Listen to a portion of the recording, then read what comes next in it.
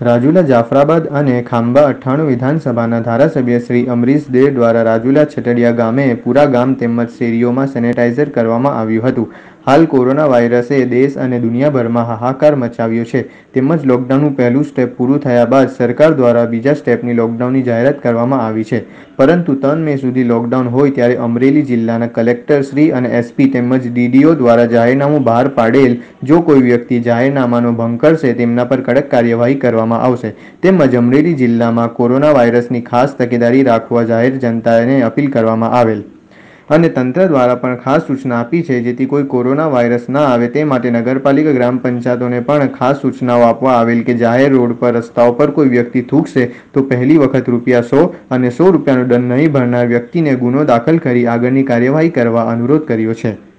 Sanitiser ચાલુ ધારાસભ્ય અમરીશભાઈ ડેર દ્વારા મોકલવામાં આવી છે. આની પહેલાં અમે સેનિટાઇઝેશન આખા ગામને કર્યું છે.